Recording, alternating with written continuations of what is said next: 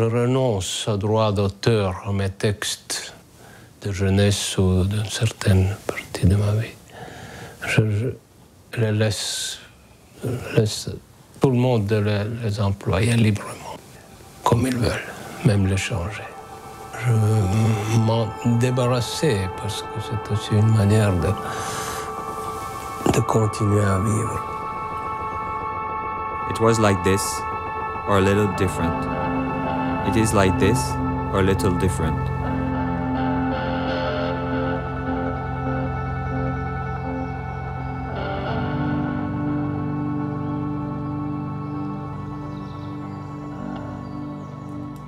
kui Jumal on sinuga kõnelnud, kuidas saad veel kõnelda inimestega?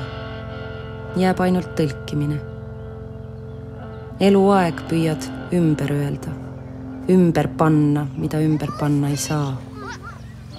Tuult, vabadust, armastust ja surma, lapse kätt oma käes, naise puusakumerust, ema jõge ja allikat, südatalvel lumiste leppade all.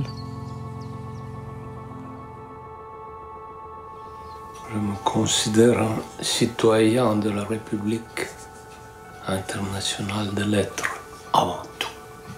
C'est mon identité la plus importante.